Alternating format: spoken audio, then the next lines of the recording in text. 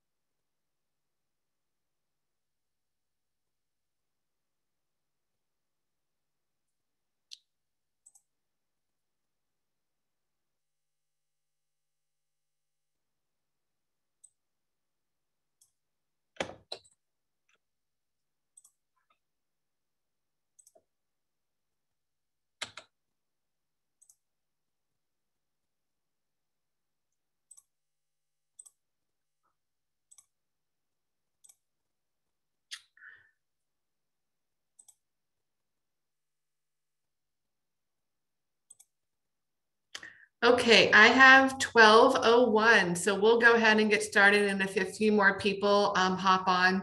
Um, this is being recorded. And so we will post this um, online and um, everyone can have access to the full meeting. So welcome everyone. My name is Jessica Green. I'm the Assistant City Manager for the City of Oxford and I'm so grateful that all of you are joining us today. Um, Ed, I'm gonna go ahead and click next slide. Um, just a few guidelines as we get started today. Um, as you log on, your cameras are turned off and your microphone is muted. We're going to do a brief presentation and then open it up for question and answer. I'll go through how to do the question and answer in a little bit, but you are welcome to type in question and answers during the little Q&A box at the bottom of your screen. And at the end of the meeting, we'll also take verbal questions. Um, we're going to do as many questions and answers as we can until 1.30, and then we're going to go ahead and end the meeting. Um, but to be very clear, we're opening public comment for 30 days after today, so through September 11th. Um, and when you do um, submit a public comment, please go ahead and write your name and your address so we have it for the public record. And if you choose to um, raise your hand and speak verbally, please keep your um, conversation, your discussion to three minutes so we can get as many people in as possible. And then once again, we would really encourage you to put in a written public comment at the cityofoxford.org slash trail public input. Next slide, please. Um, so first we'll do introductions. Once again, I'm Jessica Green. I'm the Assistant City Manager for the City of Oxford. Um, I have the privilege of working on the uh, trail system. I write a lot of the grants um, and started as Enjoy Oxford with this and have carried it into my career here. So Sam? Hi, everybody. Sam Perry, City of Oxford Community Development Director. Uh, I've also worked on this for a few years and uh, been happy to um, help the community with this project. And this process has been good for me to hear uh, some of the questions and comments and concerns of the community. And uh, we're, we're, we'll be glad to take those into consideration as we move forward, some of which may not be handled uh, by the trail project itself, but we'll be sharing those with our department heads and coworkers as we handle some of those concerns. Thank you, Jessica. Good afternoon. I'm Etta Reed with Bayer Becker. Um, we are fortunate enough to be selected to work with the city on the Northwestern Arc we um, were the designers of phase one and phase two, so we're very familiar with the trail to date, and we're very excited to work on the Northwestern Arc and come up with some um, alignments through that portion of the community. And then Eric is here with us. Did you want to say hi real quick, Eric? Yeah, hi, I'm Eric Anderson. I'm a planner with KZF Design, and uh, I also had the joy of working on the original 2008 Oats Master Plan, and am happy to be back to uh, wrap up the final phase. Wonderful. Next slide, please. So today, what we're going to do is we're going to go over the goals and purpose of the Oxford Area Trail System. And then we're going to um, really do an overview of what we call the Northwestern ARC segments and all the areas that were reviewed, and then some proposed actual routes. Then we'll talk about our next steps and future chances for public comment. And then we'll open it up for your questions and answers. So we'll get through as many as we can today. Next slide. So with that, I want to give you a brief history of the Oxford Area Trail System. Um, this is a planned system that is nearly 12 miles of multi-use paths that will go around the city of Oxford. The goal is that it would be a 10 foot wide paved multi-use path that is separated from you know, vehicular traffic, ADA accessible, and we're really looking to both provide improved transportation options. So if you want to ride your bike from home to school or from home to work or to a park, you can, um, and also improve recreational opportunities for those little kids learning to ride their bike and skateboarding and taking a jog with a stroller and um, maybe a, a person in a wheelchair. We want to provide those recreational opportunities as well you know this really has I, have heard it's been in the works for decades and but it really got going in the, in the early 2000s and in 2007 a group of local citizens hired kzf as a grassroots group and had some design estimates done. Then in 2008 those were shared with the city and um, adopted by council and put into the city comprehensive plan under the transportation chapter as a future goal for the city and then honestly, the recession hit and not much happened. But in 2013, we really started looking at the trail again. We wrote some grants using those initial KZF estimates, and we have been able to build the first few sections. We realized quickly that we needed updated cost estimates and maybe some route alignment. And so in 2017, we hired an update from Leonard Howell Park to the community park. And we continued writing grants. And then we're like, it's time for us to address this final little arc, the Northwest segment. And so we've hired Bayer Becker and KZF to look at that for us. But along the entire way for the whole planning, we've really looked at what's the user experience? What's it like to use this trail? Is it enjoyable? Is it fun? Is it ADA compliant? Is it safe for eight to 80 year olds um, to be out there learning and maybe not as stable on their feet? Is it fiscally responsible? You know, we've passed a levy and we write grants, but can we do it within those parameters? And then finally, is it feasible to construct it in this area? And we really look to the engineers to help us look at, you know, soil and topographic areas and, and things like that. Um, and so that's where we are today. We're going to introduce uh, the routes that were explored by Bayer Becker. And then this opens up a period of 30 days for public comment, because if you're like me, you're gonna need time to like really look at the map and how does it impact you? And so after today, this will be posted as a recording, the maps will be posted, and we invite you to share public comment. Um, I want you to remember that this is not final. Think of these as pencil lines. And based on your input, we're going to ask Bayer Becker to, you know, tweak things, move things around a bit. And then it'll go to the Oxford Parking and Transportation Board, which will allow you for some more public comment. And then finally, it will make its way to City Council, which allows for more public comment. And then at the end of the day, what's adopted by council would be a plan, a plan that we use to then apply for future grants. Um, and just to kind of give you an idea, those grants, if we wrote them today, would be coming down the pipeline in year 26, 27, or 28 before we'd actually be doing anything. Um, so with that, I'm going to turn it over to Ms. Etta Reed to explain um, their process of the feasibility study. Thank you. Great, thanks, thanks, Jessica. As Jessica had indicated, Bayer Becker and KZF, we have been working on a feasibility study for the four mile segment on the north side of town you're probably asking yourself, you know, really what is a feasibility study? What's taken into account and, and what all is really involved? So when preparing a feasibility study, what we've done for the Northwestern ARC is we, we started with the alignments from 2007 um, and evaluated those as well as some additional routes um, based upon changes in the community, such as additional developments that have come online since 2007, 2008, and just different regulations that have been placed and, and just a variety of conditions and changes within the community. We have looked at both rural, which are considered off-road or on private property routes, as well as urban, um, which routes which are typically adjacent to roadways and located within the public right of way. With each route, what we then did was we evaluated and graded, kind of rated the routes with regards to several criteria. One being safety, user experience, access to the trail for the users, the cost and constructability, land acquisition, the environmental impact, as well as maintenance. This, this evaluation then resulted in what we would consider a preferred or otherwise known as a recommended alignment, which best met the project goals that Jessica has outlined. What we plan to do today is basically go through the entire four mile, four mile study area and, and go over the alignments that were evaluated and then also present to you our preferred alignment. And then as Jessica indicated, based upon community feedback, we'll reevaluate the alignments make some adjustments, and then come up with a preferred alignment.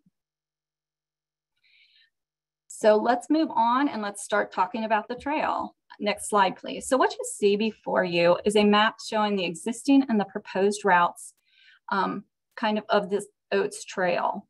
Segment one from Morning Sun to Bonham Road and segment two from 73, State Route 73 to US 27 have already been constructed while segments three and four, which are the links between Bonham Road and the DeWitt Cabin, and the link from Peffer Park to the high school, as well as the link between middle school and the community park are currently under design. As you can see here, the study area for the Northwestern Arc goes from Fairfield Road to the Black Covered Bridge. It's quite an extensive area that goes on the northwest side of town. Next slide, please. Due to the size of the study area, what we decided to do was to break it into logical segments. So we broke it into four segments so that we can dissect it a little better. So the first segment that we'll talk about today is Fairfield Road to Contreras, which is essentially the Knolls property. Um, then we go from Contreras to US 27, US 27 to Brown Road, and then Brown Road to the Black Covered Bridge. Next slide, please. As we, as both Jessica and I had indicated, we started with the 2007, 2008 previous alignments that were evaluated. As you can see here, this is a map showing the previous alignments that were evaluated and costs, um, so costs were developed associated with these. The, the map and the trails that were um, evaluated previously included routes that were located both in the what we would consider rural areas on private property, as well as through neighborhoods on existing public streets within the public right of way. So what I wanna do now is let's start talking um, down detail. We've talked very high level to this point. I wanna get down into the detail and let's start breaking it into segments. So if we could go to the next slide, please. So the first segment I would like to discuss is the segment between Fairfield Road and Contreras Road. So in this segment of the trail, we looked at the, the trail, we looked at three alignment options. Starting at the west or the blue cyan colored line, we the, the, alignment starts at Fairfield Road, goes along the west property line of the Knolls to Contreras Road. The second alignment we looked at was the green alignment, which you can see follows the existing roadway through the Knolls of Oxford um, development.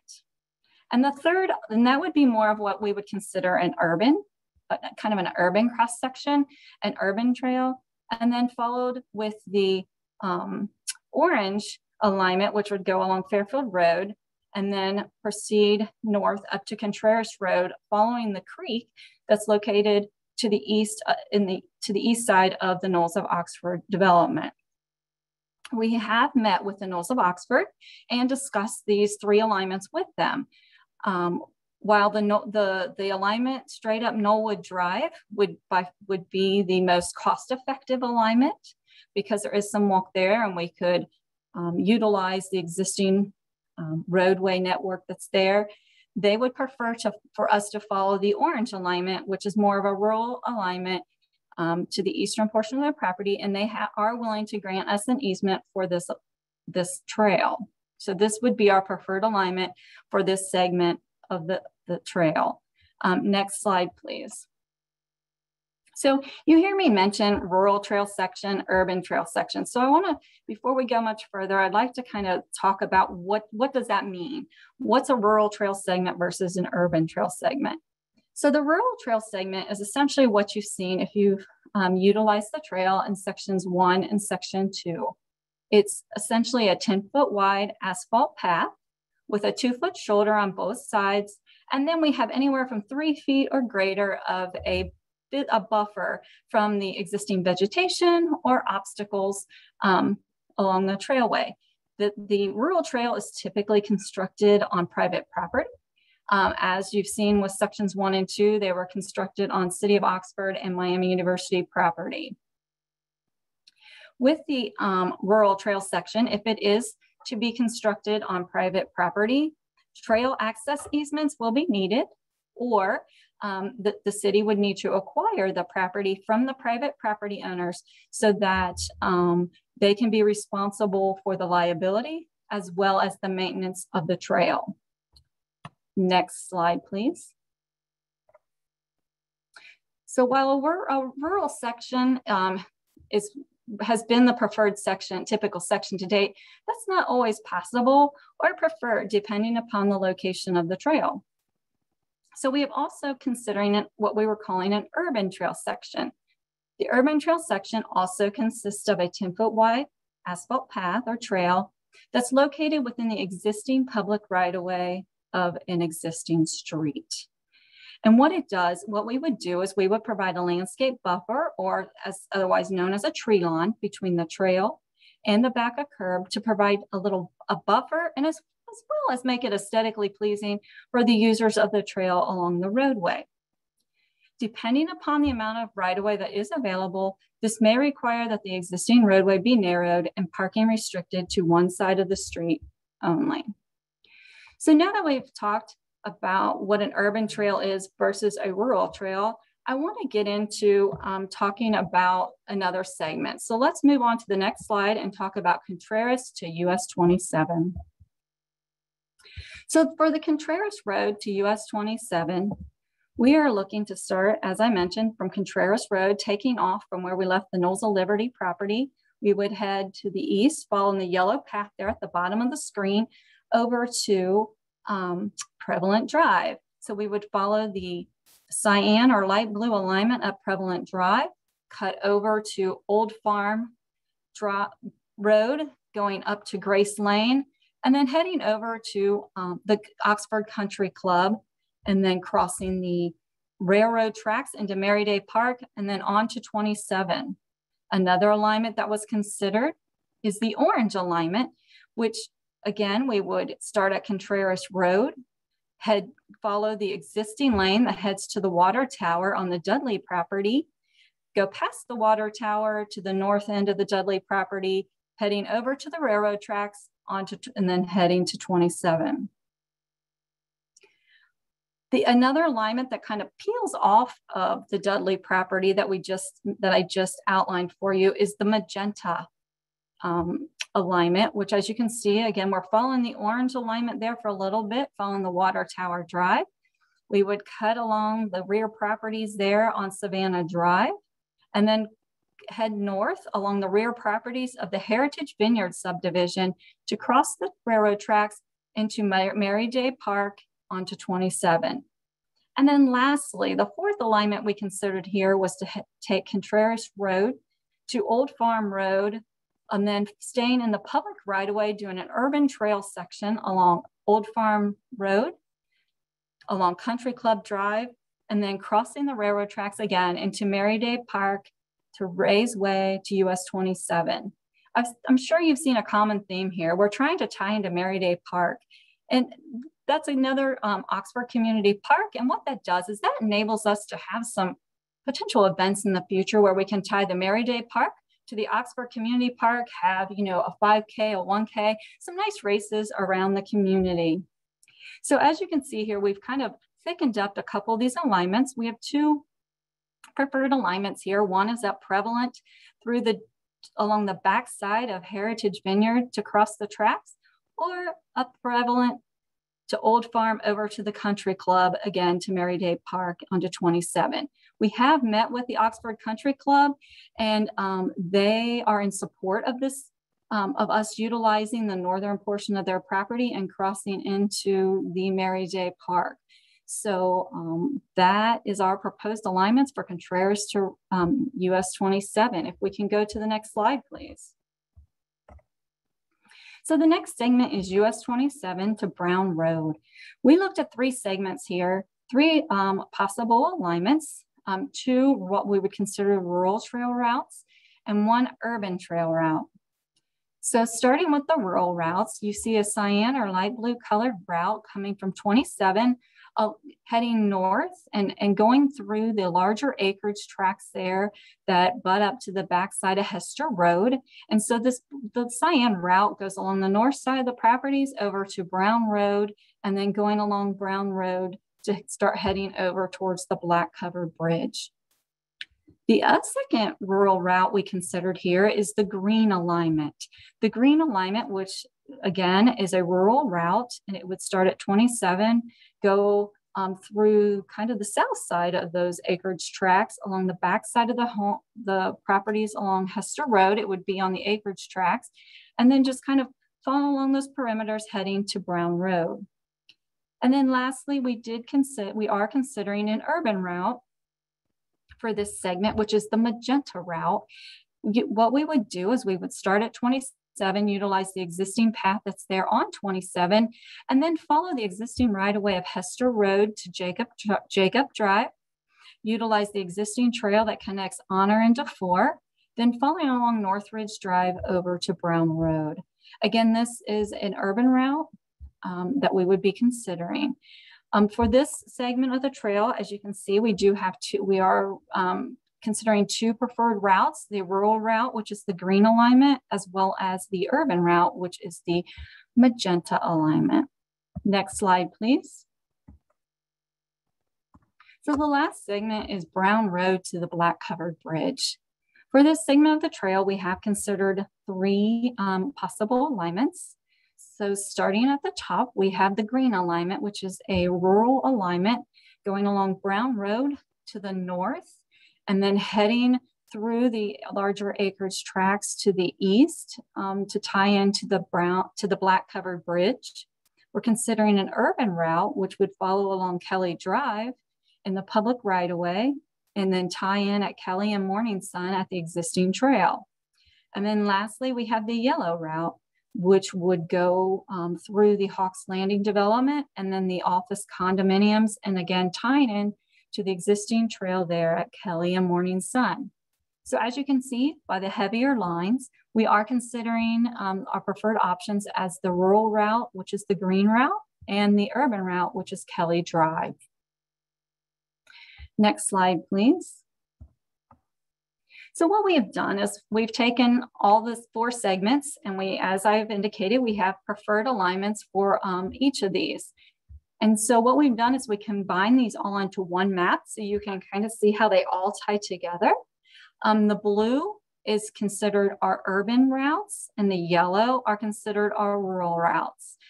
Um, and at this time, these are our preferred alignments. And what I'd like to do is hand it over to Jessica to talk about the next, next step. Yeah, so thank you, Etta, for um, that analysis of your review. So what we're going to do now is um, enter into the um, kind of the feedback and Q&A section of the meeting. Once again, you have until September 11th to do this. So I understand completely if you want to take some time, um, look at the maps once they're posted this afternoon, really gather your thoughts and then share that feedback. Um, then what we will do is based on that feedback, we'll reevaluate the alignment, adjust it a little bit, and then Bayer Becker will prepare what's called a 30% preliminary design plan with a cost and estimate that gives us enough to then apply for those future grants. After being reviewed by the Oxford Parking and Transportation Board, a recommendation will go to City Council um, for adoption of this plan. And then that allows us to then seek for future funding, which we, we don't have any grants in mind right now, but it sets the stage for us to apply for future things. Next slide, please.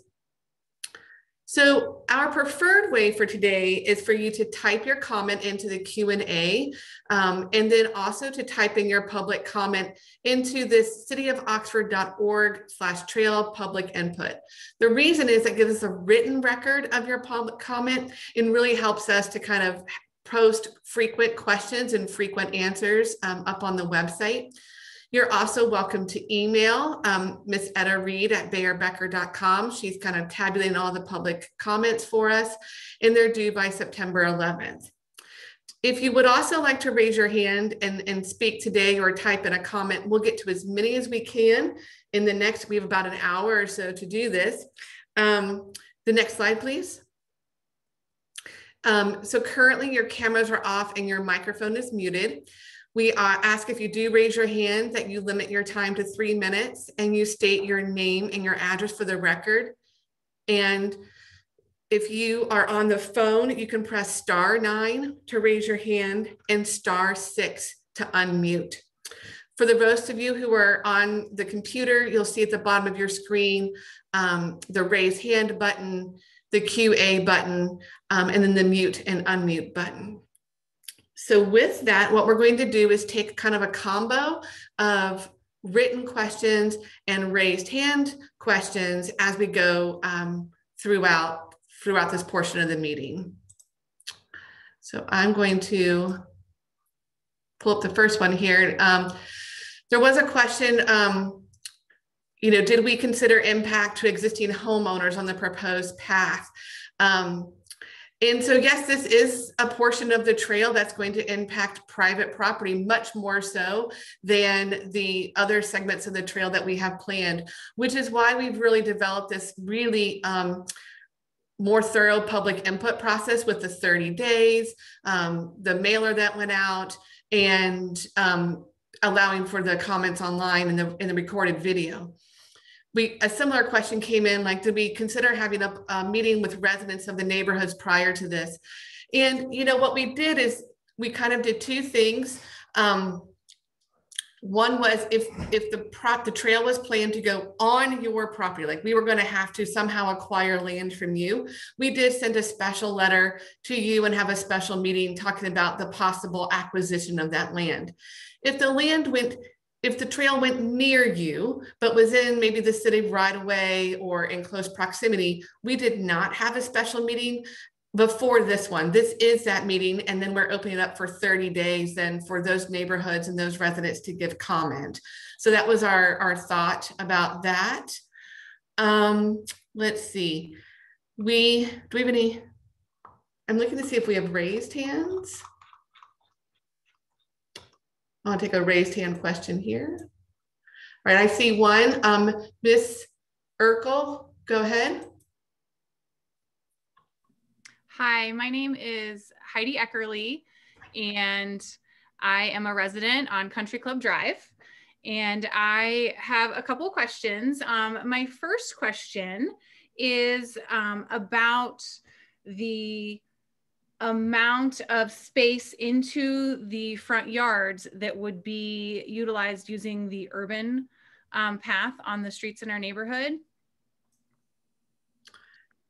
Yes. So the goal would be if we did what I'm going to call the urban route to really not take front yards. It would be to stay within the city right of way, which is why in some cases it might require limiting to parking on one side of the street instead of two.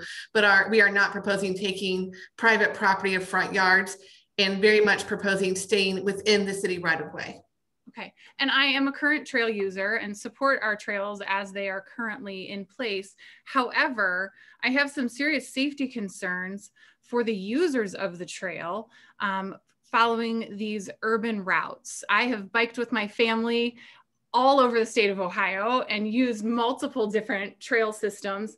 And it just seems like an excessive amount of driveways and streets to cross. And that really worries me. If our goal is, in fact, to safely connect Mary Day Park to the community park, um, then I think it needs to be a priority to find the safest route possible for anyone from age 8 to 80, as you've said, to access these areas. I know that there are kids that would love to be able to get from park to park, but having to cross all of those driveways with people backing out, pulling in, all of those street crossings, it just doesn't seem to be the safest option, in my opinion. Thank you, Ms. Eckerly, um, for your comments today. And um, that leads to kind of one of the next questions is, is what are the advantages and disadvantages of an ur a rural and urban route? Um, and so I'll start with the rural route. The advantages of the rural route are um, it's completely off-road. There are very limited driveways. Um, it's a very, tends to be a more recreational use. The cons are that it, for this particular segment, acquire requires a lot of private property acquisition. And if you can imagine, if someone was asking to come into your property, that might not be very supported. And so there are significant challenges in property acquisition for a rural route. For the urban route, the positives um, become a little bit more like transportation. You know, you could hop on the route and ride to school, or it becomes part of your neighborhood um, network, and it could be I think just a really nice neighborhood aesthetic. The negatives are exactly what Ms. Eckerly talked about is the driveway access. And there will be lots of driveways and just needed awareness um, through a more urban um, system like that. And it does perhaps in some places limit parking to one side of the road. I'm going to take the next raised hand, which is, oh, This is a challenging name, but I'm going to go ahead and say, is it Beata? Go ahead.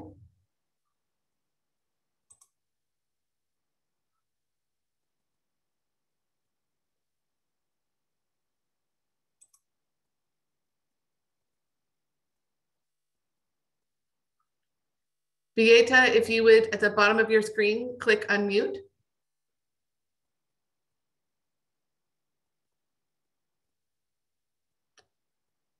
Okay, we'll come back.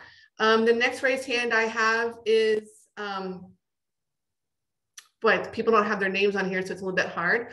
But the next name I see is Job JM. Go ahead.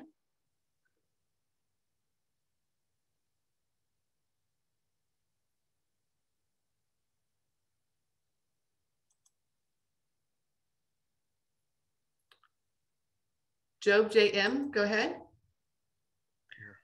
Can you hear me now? Yes, we can. Okay, I'm looking at the map here. I see the blue and the yellow. Are those the only two paths you're considering or because there were others in the previous map? Etta, would you want to explain that a little bit? Sure. So um, we are considering all the routes still. None of the routes are off of the table. A matter of fact, um, as these are just pencil lines on a piece of paper. If a new route came to light um, and it seemed, you know, and it, it met all our criteria, we would definitely consider it. Routes we haven't even discussed today. So what this map, the blue and the yellow show, these are the preferred alignments but by no means are they the final alignments. Okay, thank you very much because if there are others that are going to be considered, we really can't ask questions to them if we don't know what the target is. I recall there was one along Old Farm Road and then on Contreras. Which side of the road on Old Farm Road was the path proposed? At this time for the urban routes, we have not, um, we need to do more investigation to determine the exact side um, that it would need to be on. Um, we need to take into consideration the existing utilities that are out there, um, existing vegetation, um, you know, just the, the whole intersections, you know, if we can stay on one side of the road and minimize the number of crossings, that would um, help us with the safety. So the final determination on which side of the road for um, the urban routes have not been determined yet. So that's very uh, kind of uh, troubling because it matters to us who live there And frankly, I don't want any bike path on Old Farm Road or Contreras at all. I don't want it. And I don't want any path behind my lot by the golf course. You said safety, eight to 80. People get hit by golf balls. And that's not safe for children. It's not safe for anybody, actually.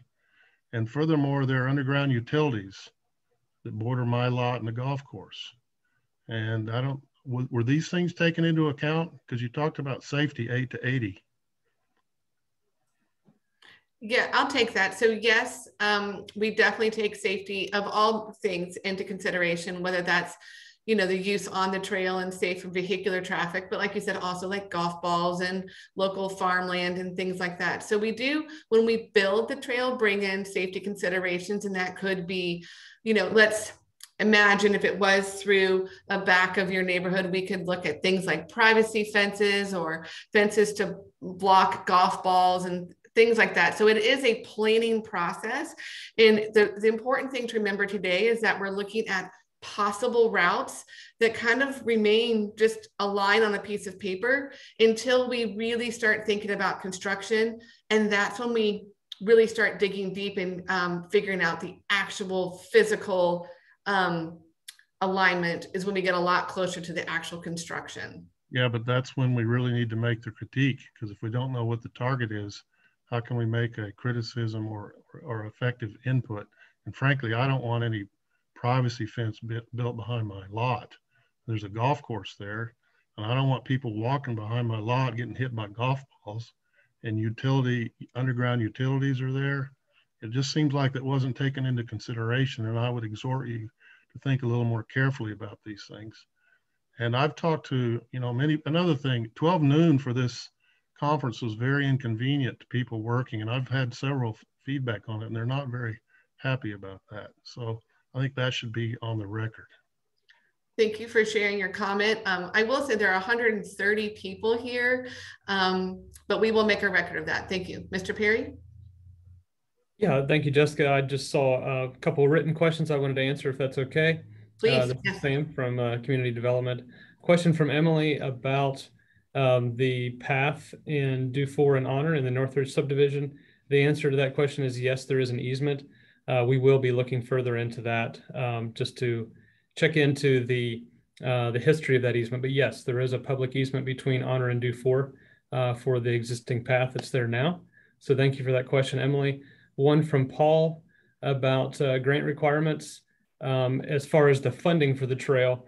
Really good question because that the way the funding is, obviously there is a tax levy that was passed in 2018, uh, which helps to fund this, but the reason for that was to match uh, with grant requirements with grant funding for state and federal grants. And so to Paul's question, the funding sources do have requirements for the way the trail is designed uh, for safety, for slope, for um, accessibility handicap accessibility, different types of modes of transportation. So good question. And yes, there is limits on if that if that funding uh, comes from a certain source, then the trail has to be designed a certain way and accessible to certain types of modes of transportation. So, so that's all, Jessica. Just a couple questions I want to answer while we had those.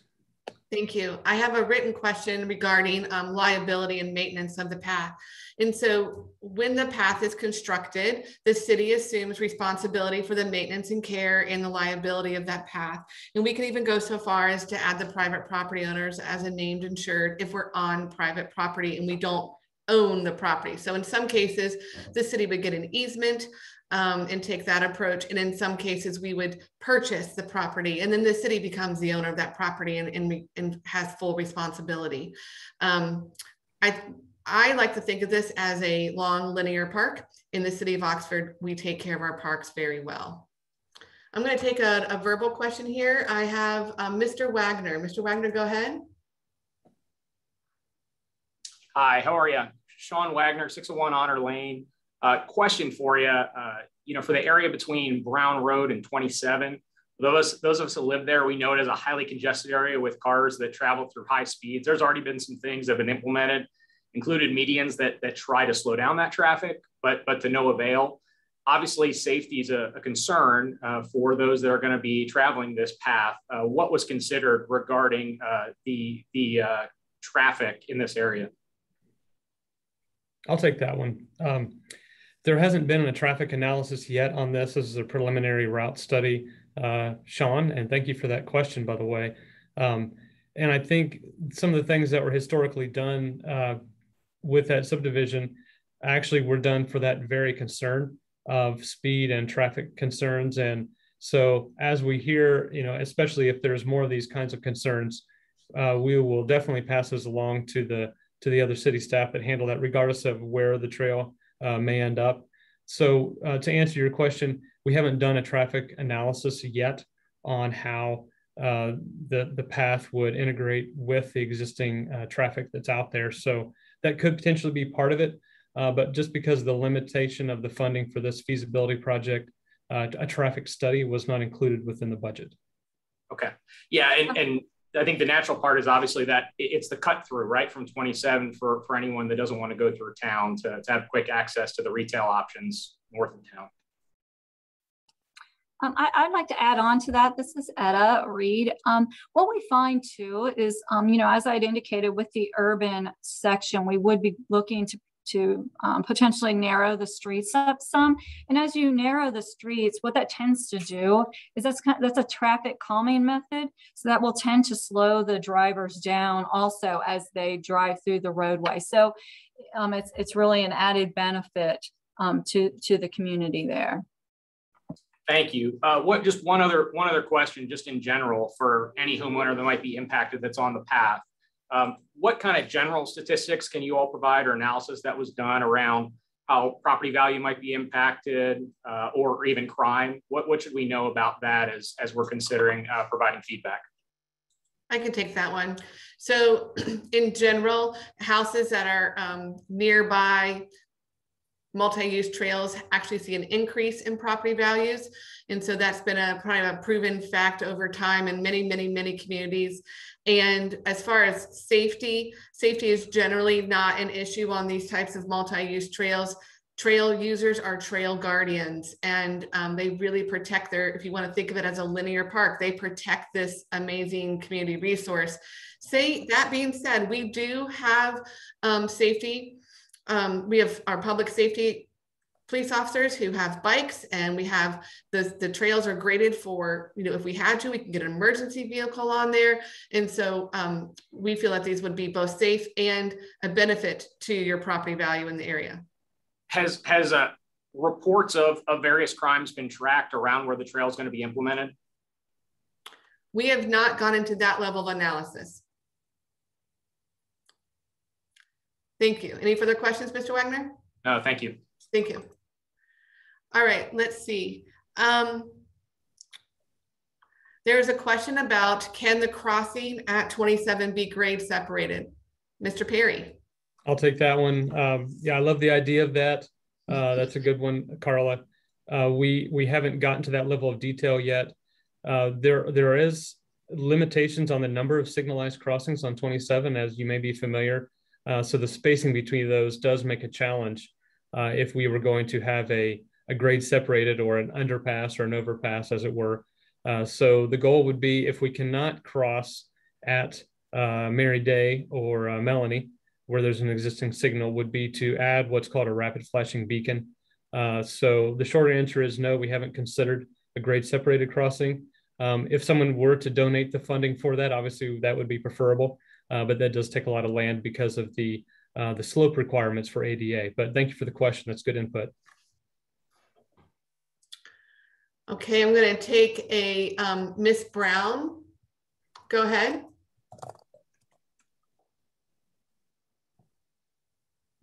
Hi, can you hear me? Yes. Okay, my name is Tomoko Brown, and I live on 100 Prevalent Drive. We are at the um, we, I live at the corner of Prevalent and Contreras. So looking at this map, um, the rural, both rural and urban um, route seems to go through the all the prevalent. And um, this was the first time we heard, and uh, which is a little surprising. But anyway, um, I have, um, I, I, guess I, I have a couple questions. So the looking at the rural route, the yellow one, all of them seems to go on the rural area and behind the property, except prevalent. Uh, have you noticed that? and then um, can you do anything about that? I mean, um, the the they call rural for reason. They are, you're avoiding driveways and um, housings, and um, seems like to me it's not rural to us. Um,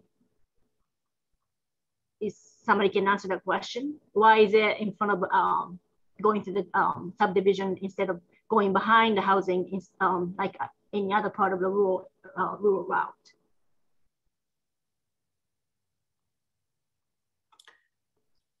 I'm not sure. We might have to get back to you on that answer, but Etta, would you be able to speak to that at all? Okay, Ms. Brown, we'll No, have no, to. not at this time. Okay, Ms. Brown, we'll take your comments into consideration, and if that's something we'll we'll look into see if we can um, look at. Um, I have Um, one more question. Um, um, we, you guys talked about the um, studies done and the um, trails being safe, um, but what is going to happen at night? Um, things are wide open. There's nothing, no gate, nothing. Um, I'm a little bit concerned. Um, uh, the situation at night because it goes through, um, it goes in front of our house. Um, is there anything done by, uh, is there any plan for the, uh, by the police department um, to study, research, and, um, you know, um, to add um, um, patrols? I mean, is there anything like that done yet? Yeah, that's a really good question. And um, one, I think we that's something we would absolutely address if we get into the part where we're actually planning on doing this. Um, would be a consideration of the safety um, in in maintenance of the trail system. Like, what does it look like? How is it patrolled? Um, how is safety maintained?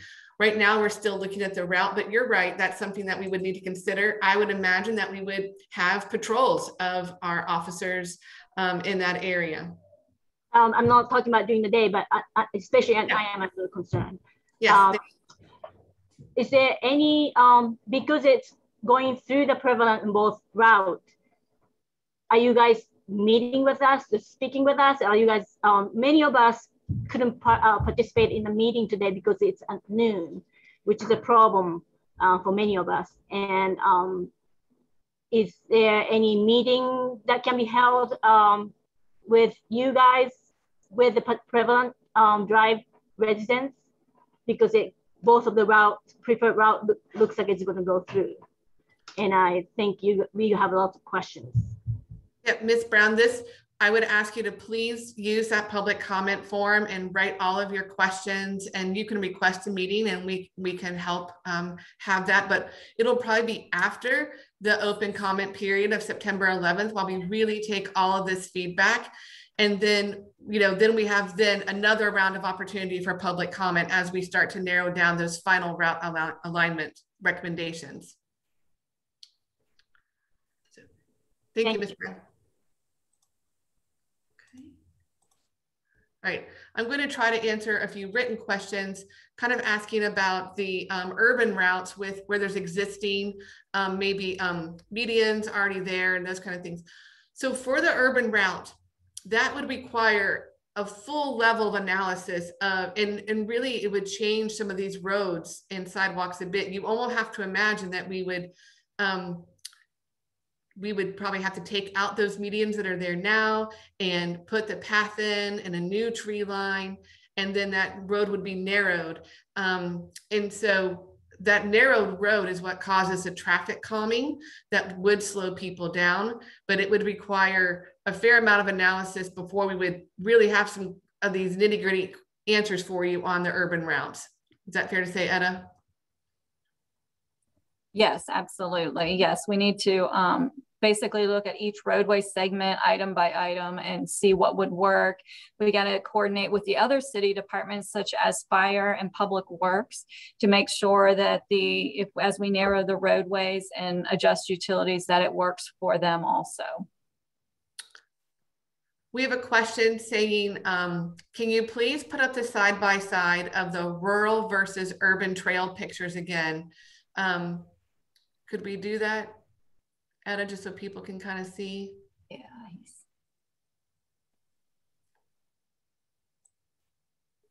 Okay, so you'll see here, this is the, what would be considered the rural route, which is if you use phase, phase one or phase two, it looks very much like this.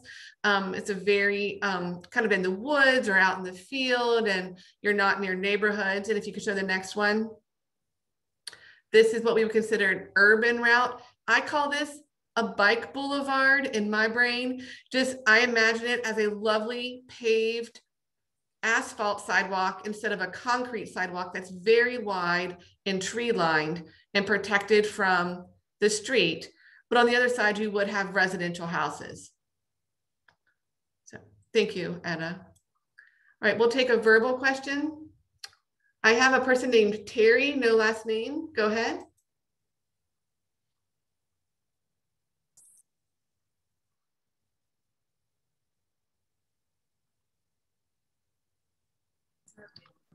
Terry?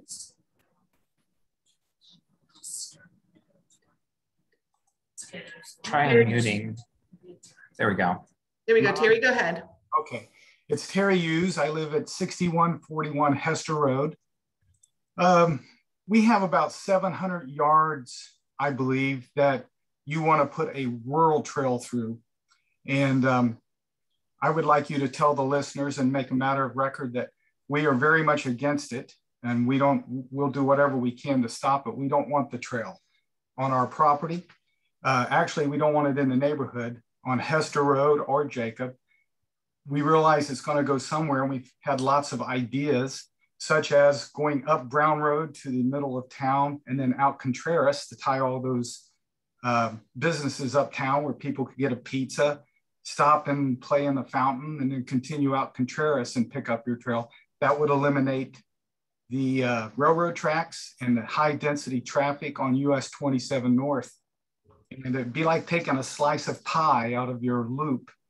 And uh, we don't really understand why it has to be a circle. I've, I've heard your explanations already.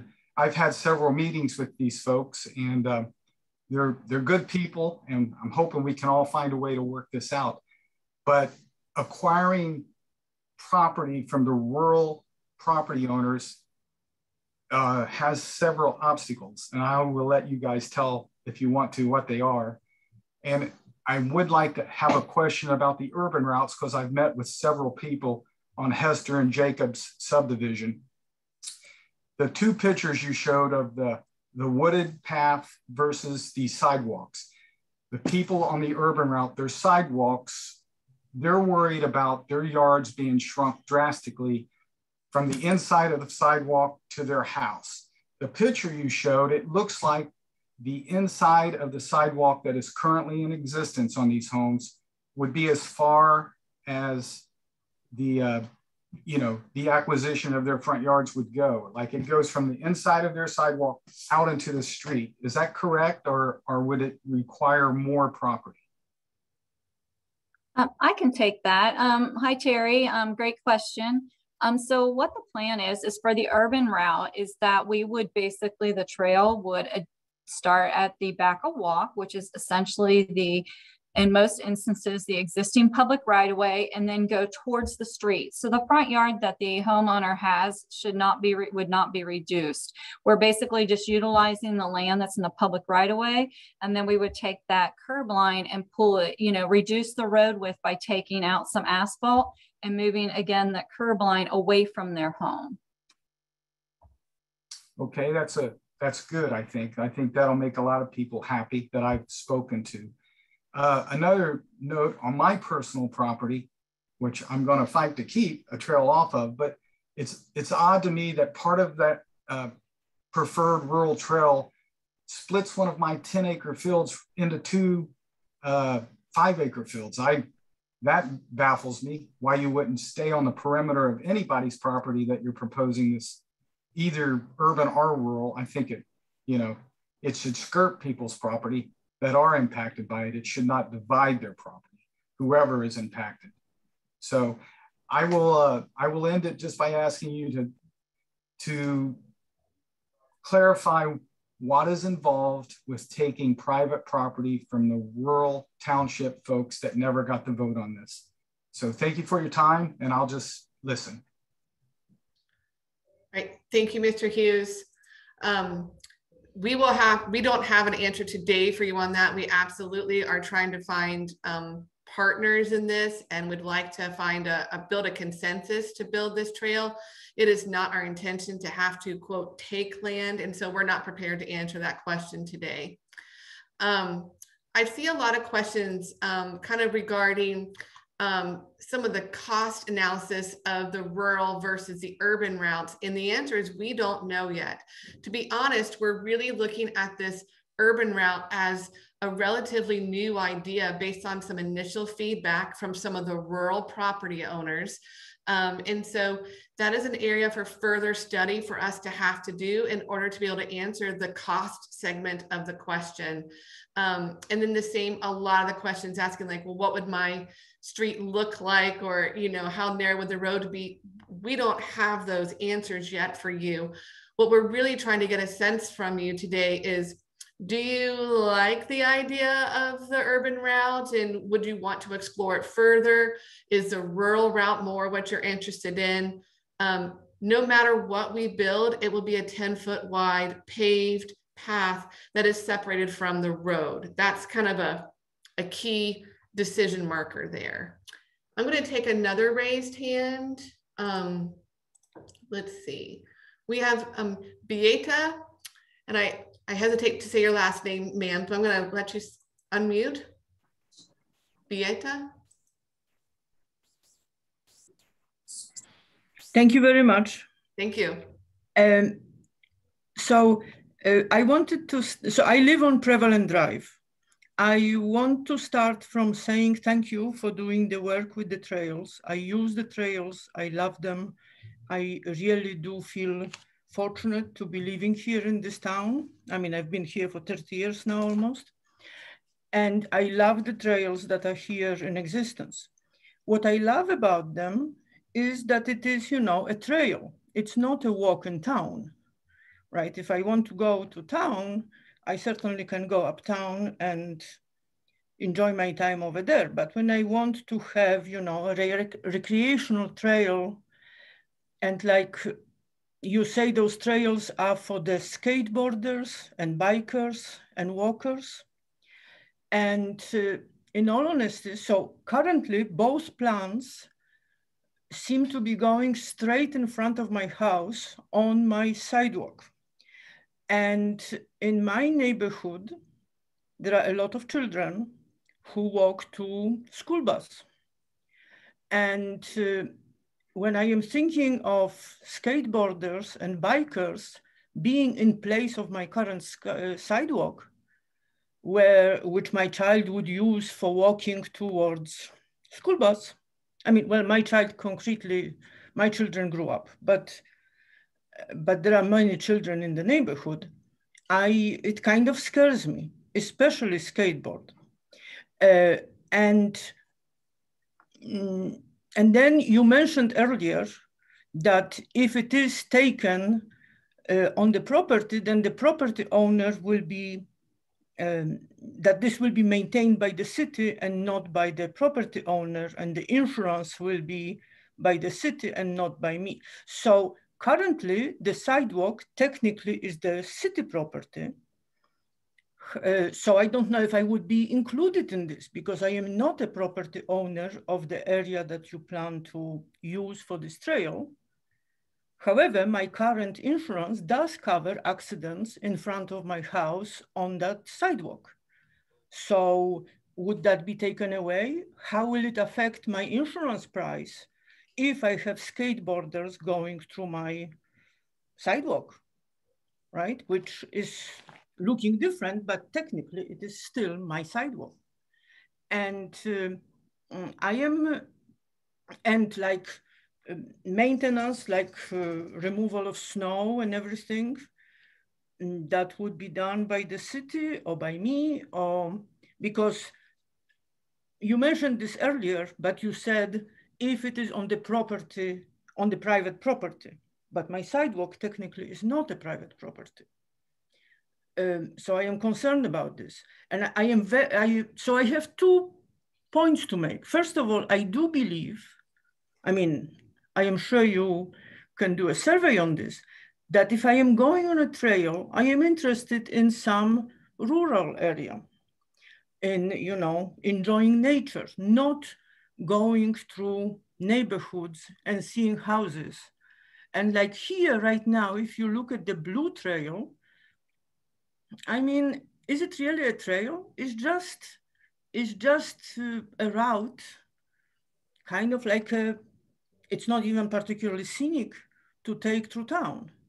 I mean, am I going to be attracted to, to walk there or, or do anything like that? I really don't see how this will be an attractive part of the trail for me. Um, I am, I would be attracted. I am kind of, you know, it was exciting to have, you know, a loop that I can go start uh, close to the trail and go on a loop and come back home and on my bike and stuff. That sounds wonderful, but I really would want something more scenic.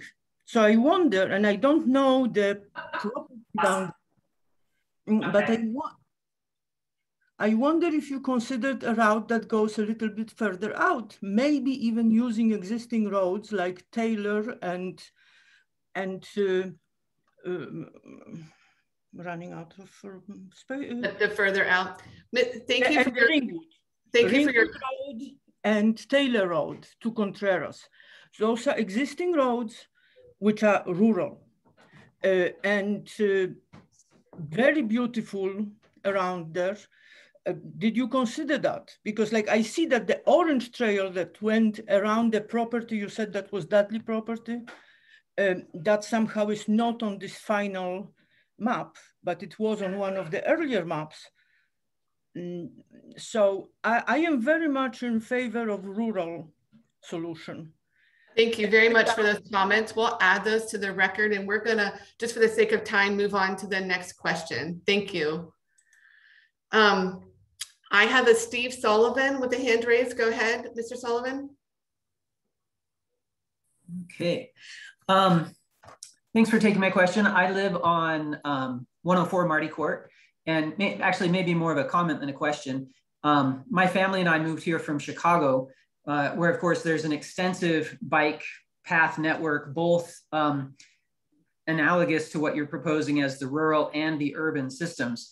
And they're really working hard to increase both of those systems because they recognize all of the benefits that come from those. Um, and of course, also by making these systems, it preserves greenways, which is also critically important. Any city that doesn't preserve its greenways at the stage that Oxford is presently really regrets it in the future and ends up spending a lot of time and money to try to reclaim those greenways. So I think this planning we're doing on both respects is really smart.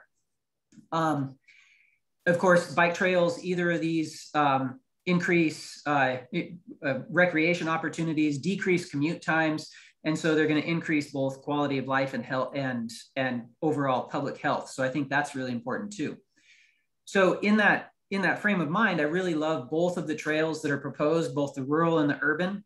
Um, in my mind, it, it, just based on this presentation and some of the other things I've heard, I would prioritize the rural trail simply because it does preserve those green spaces. It's going to be the most straightforward to accomplish, um, and it's going to benefit the greatest number of people. That said, I also really like what's being proposed for the urban trails. Um, I think the bike boulevards are really smart. Um, you know, I commute I commute by bike around here in Oxford all the time, and most people are somewhere between courteous drivers and excellent drivers but every so often you get that jerk in the uh, in the car that, that that tries to run you off the road or something like that um, or the inattentive person who just doesn't notice a bike there. And those bike boulevards really help that. Um, and also i like that it's been stressed that you're going to be using existing right of ways. We're not taking away anybody's property. Um, and i like that you're talking about um, restricting some of the tr car traffic flow. You know, plenty of studies have shown that as we widen streets, it doesn't decrease traffic uh, or, or, increase speed, it simply adds more cars. Um, so the, the rural routes are, for, from my perspective, would make a fast, safe commute. Um, I also did prior to this meeting, just some quick um, literature searching and saw that uh, as I experienced in Chicago nationwide, home prices tend to increase um, apparently up to about 5% when they are near these rural routes. And, um, and also that crime is not correlated with the bike routes, according to any of the studies that I came across. So I, I thought that was really important. Um, of course, personally, as somebody who uses these all the time, I see that really the majority of our community are great people and we're all helping to police each other. And so at, at the very least, that's gonna be happening, but also just seeing these studies makes me feel a little better. Um, in the end, I, I, I as I've said, I, I really go for the, the rural one. It wouldn't benefit me personally quite as much, but I think it would benefit the community more. And I think that sets a good standard for us to then jump into some of these other streets. Like, you know, Contreras would be a great example that if we can make your bike boulevards there eventually and create a hub and spoke system, the, the, the hub being this rural route that takes us all around the city, attracts money, increases our health, and then the spokes that really gets us into all of these shops or work or wherever we need to go. Those are my thoughts anyway. Thank you, Mr. Solomon. All right, um, I, am going to answer a few written questions that I saw, some of them around, um, you know, like if you're uh, in proximity to farmland or the landscaping that's included in trail design. So when we actually do the construction um, engineering of the trail, floods are accounted for, waterways, we do a full environmental analysis. And then, yes, we would do, um, think of it like a greenway where we would plant like buffers of trees and, um, you know, ornamental landscaping, things like that. Um, to protect the trail users, really no matter where you are, whether that's a rural or urban route, that's an important part of it. So um, let's see, I have another raised hand. Um, Mr. I think it's, I'm sorry, James Chadez perhaps, or I'm sorry if I said it wrong. Um, oh, where'd you go? The hand went away. Okay, we'll go to the next one, which is um, John Femiani. Go ahead. Hello, can you hear me? Yes, thank you. Okay, so uh, to begin with, I mean, I, I think I've heard a lot of good things. I want to reiterate some points that I actually heard before you got to me. So, one is um, when we talked about trails, um, I don't think I pictured what we're calling an urban trail, and nothing that exists so far is an urban trail. I, I don't really see the urban trail option as kind of within what we all imagined when we kind of approved this tax levy. I, I think that this notion that you're going to take already bikeable urban areas that already have sidewalks and just widen the sidewalk, that just seems fundamentally not the same as what we expected when we approved when we approved these trail ideas. So I, I wanted to get that one out. Um, the other thing I, I want to ask is um, the rural trails go right up to my backyard. How are are you going to be able to get the 20 feet of right of way between our properties without buying it from us? I'm, I'm curious. I'm going to have to pass that one to Ms. Reed. Do you, can you maybe answer that question? Sure. Um, um, I apologize, um, Eric, uh, John, I, I didn't catch where you live, but- oh, um, Oh, 412 Jacob Drive, sorry. Oh, okay, not a problem. So um, the, the rural route, which would be located behind your property, would, um, what we would be doing as, since it is a rural route located on private property, either the city would acquire an easement from that property owner, owner or they would go into negotiations and acquire, actually acquire a strip of land to put the trail into. Um, so the, the easements width vary. Um, we would need at least a minimum of 20 or more feet to accommodate the trail and the buffer areas. Um, but the, the exact easement width would be determined as part of the construction process. there's a lot of people that you're going to have to get property from in order to make the path as you've got it scoped. Have you considered just going up Brown Road and somehow trying to connect it to Todd further up?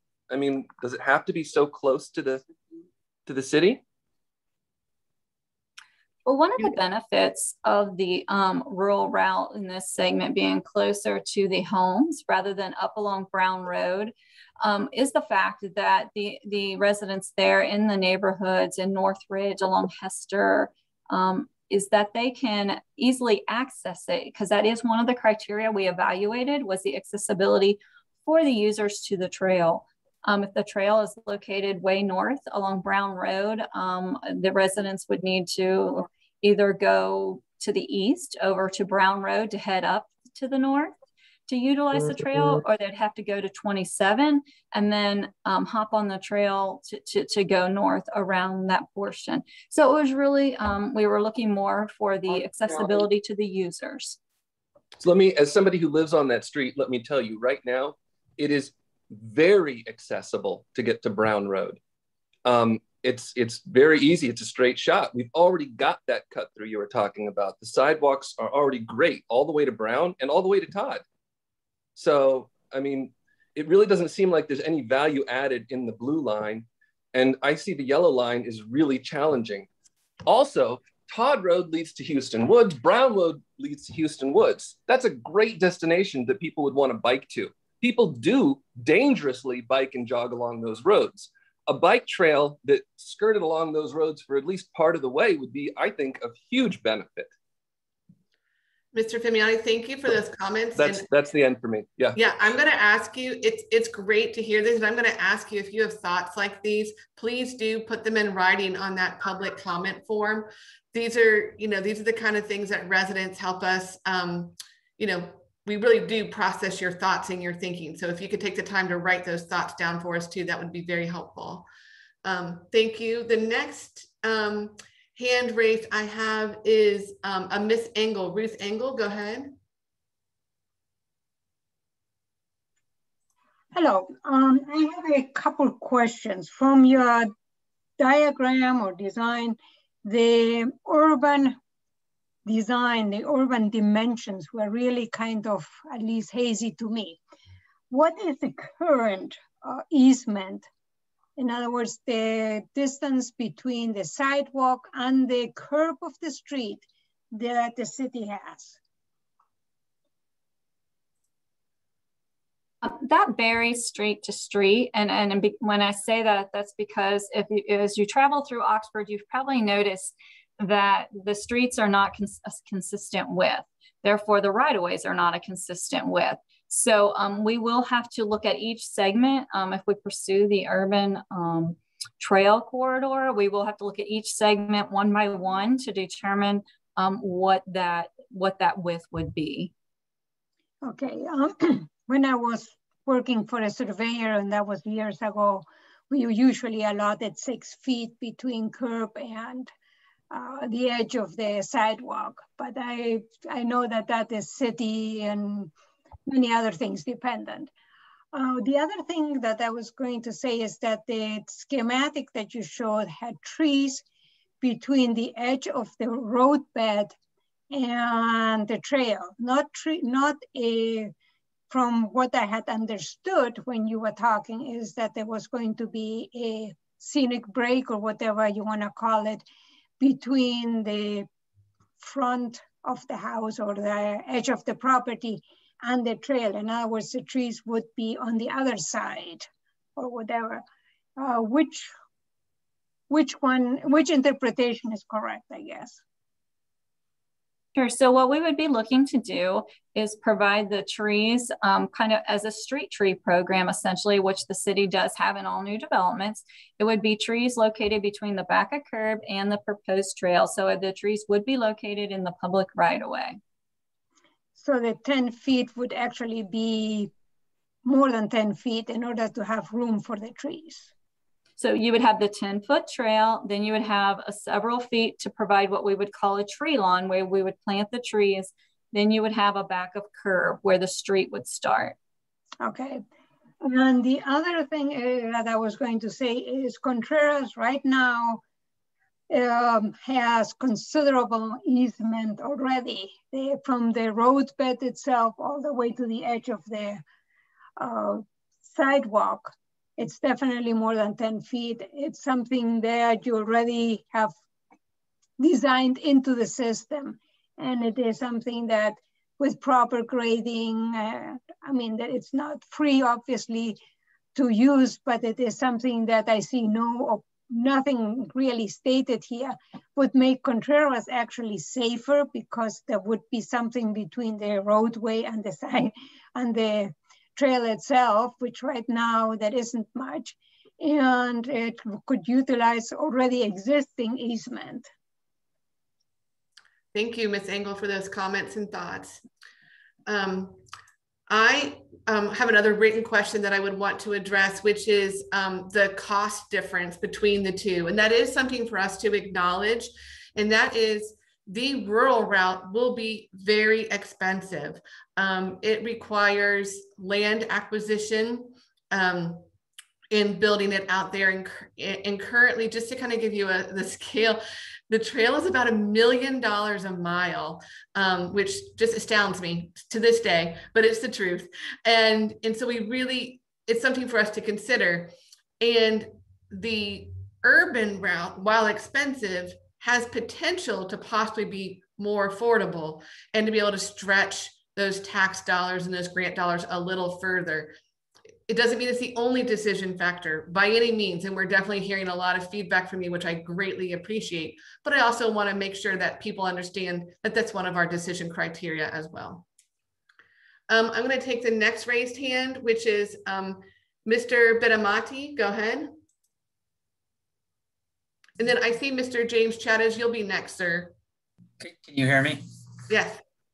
Yeah, so I, I, mean, I'm in the same boat kind of as Terry Hughes was. I'm one of the most effective landowners. In fact, I've got 2,100 or so feet. And then the, I mean, the trail completely wraps around my property. It's the, the box that juts in on the map. I'm already struggling to keep people off my property. I mean, I've had uh, Oxford Township Police out there twice in the last 10 days because I've had some stuff stolen off my property. And uh, apparently there were some people living on my property uh, the, it, in being in the township, it's going to be hard for OPD to patrol this trail in the in the rural route, and it's going to be going behind all those houses on Hester, Jacob, Northridge, et cetera. I mean, I see crime going up, not going down. So I, I just wanted to voice the same opinion as Terry, and I really am not very fond of having this wrap around my property. Um, so I just wanted that to go on the record. Thank you for that. Next, um, Mr. Your name keeps popping away. There we go. Mr. Um, I believe it's Chavez. Go ahead. Yeah, hi, uh, James Chagdis at 209 Country Club Drive. So I share uh, many of the concerns and, and comments that people have made already, but I wanted to ask a couple of specific questions. So one is um, in section one, the the um, route was uh, moved to the rural area to avoid going through the knolls, which I think is great. I, I kind of had that concern for that section one, um, but when moving to section two and three, I guess, and, and through four, the same concern with the um, the urban area. And I'll specifically talk first about section two because I think you you can choose the yellow route uh, to be the rural area. But going through Prevalent Drive, I, I, do have a concern of going through Prevalent Drive, and then I guess if you were to take the blue route, also cutting over on on uh, Old Farm and Grace Lane. But isn't there a chance or, or a possibility that you could instead come out head west on Contreras? I think it was to an orange route, then head north, go behind the prevalent neighborhood rather than cutting through their neighborhood to get to the yellow route. I don't. I really don't see why we have to cut through um, the prevalent neighborhood. I, I, saw there was an orange route, and then I think there was a magenta route. If you are able to go back to section two slide, I, I don't see why you'd have to cut through the um, prevalent drive, take Contreras to prevalent drive.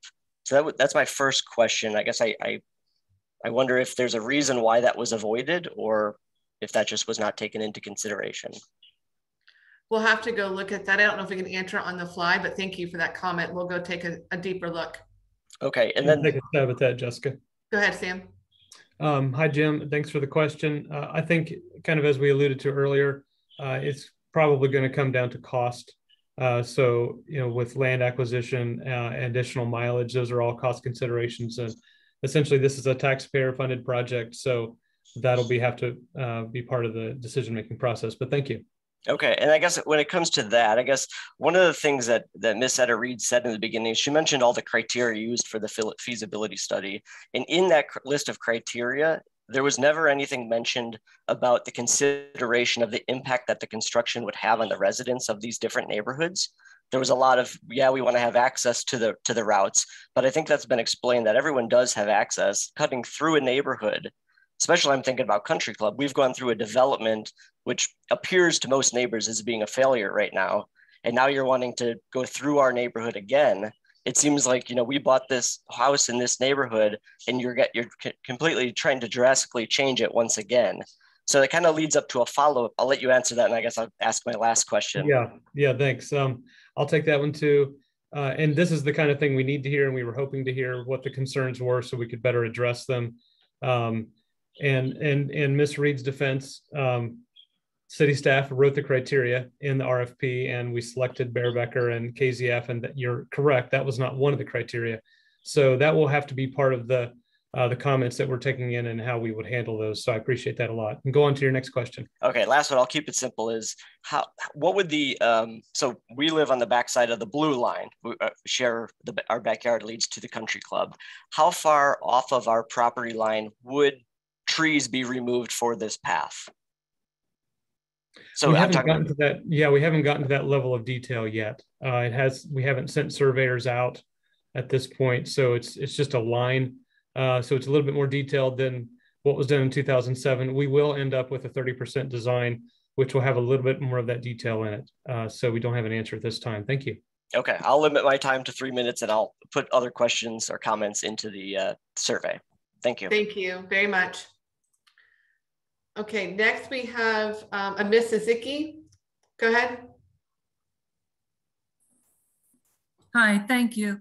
This is Susie Suzuki. I live on Country Club Drive, and I I repeat what everybody who supports bike trails. I repeat all of that, but I also would like to repeat many of the the concerns. And if if you find that the blue line impacts too many homeowners who are concerned, who say we already can just get on our bikes or walk on the sidewalks. So why this isn't really giving us new access. So if you find that that's the predominant viewpoint on the view blue line, and also for the blue line, commuting, they we can hop on our bikes and go down our street to commute. So it's not really taking us where we're going for commuting. And if you find the yellow line is too expensive at this point, how stuck are you on a perimeter, a circle around the city right now? I understand this design was maybe, I don't know if this was what was proposed 30 years ago or if it was what was proposed in 2007. But if there's feedback that neither urban or rural in this Northwestern arc is feasible, desirable, gives the goal of commuting where I would never take this route to commute, I just get on Contreras. Would you consider making it not a circle around the city in this Northwestern arc section? I mean, that is a really good question. And I don't know if I have the answer, but, um, you know, I think if enough residents share a similar sentiment, that might be something that we could talk about. I don't, I don't have an answer for you today. Um, but if you could please, you know, write those comments into the, the public comment section. Sam, did you want to say a bit more? Yeah. yeah, I'll just touch on um, Susie's comment about using the street. Uh, definitely, the streets are, are usable and allowed by Ohio laws for bicyclists. Uh, the goal um, going back to uh, 2013 and, and later in 2017 when the trail first phase one was built was to provide a little bit more of a safety buffer And so studies have shown that separated paths have been safer for uh, users who are less able. Thank you. Yes, thank you. That is one of our key criteria is a separated um, path. That's, that's one of our key decision points there. Um, next, I have um, a Mr. McCabe. Go ahead.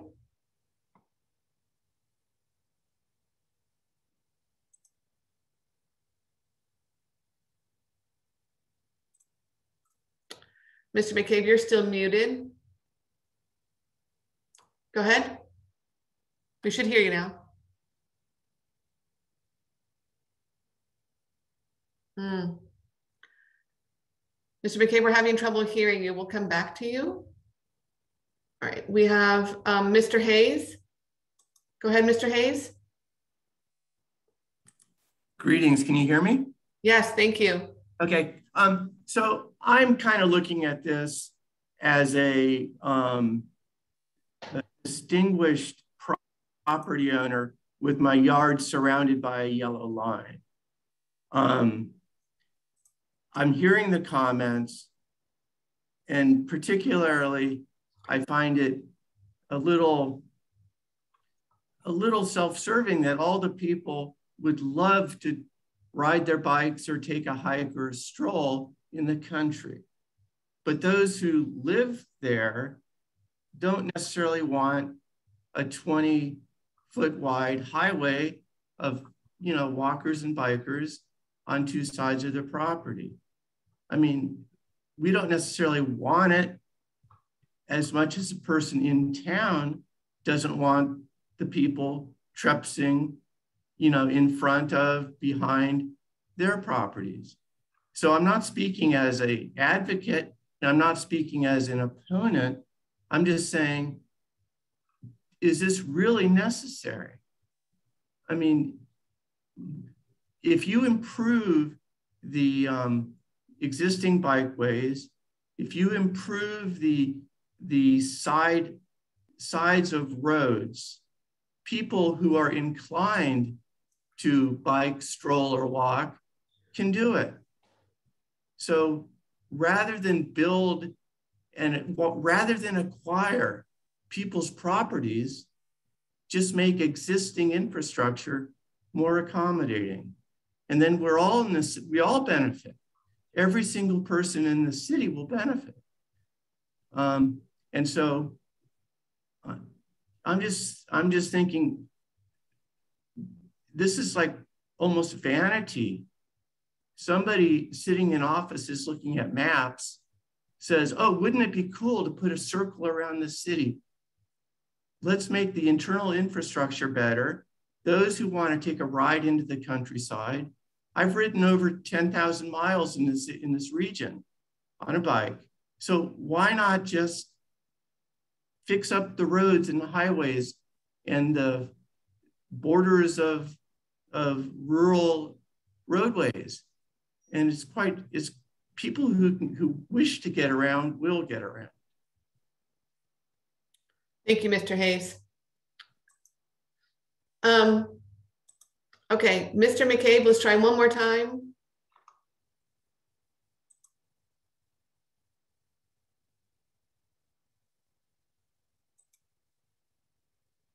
Mr. McCabe? Right, we still can't. Oh, go ahead. Nope, okay. George, you could type your question in the box. Yeah, if you would type your question in the box. So we are coming up at, with three minutes till 1.30. So I think this is a good time. And I we read through the Q&A real quick, and I think we touched on most themes, if you will. If we did not get to your question today or um, you know, you you have more thoughts, I really encourage you to once again go to that um, cityofoxford.org slash trail public input and please share your thoughts with us. If for whatever reason that website link does not work for you, you are welcome to email Miss Beata Reed at bayerbecker.com. And you are also welcome, you know, I've had people sending us letters um, just in the mail, that that's fine too. I, I'm going to spend my afternoon kind of getting this recording um, uploaded and I'm going to post PDFs of the maps. And so that'll be done by the end of the day today on the City of Oxford website and the oxfordareatrails.org website.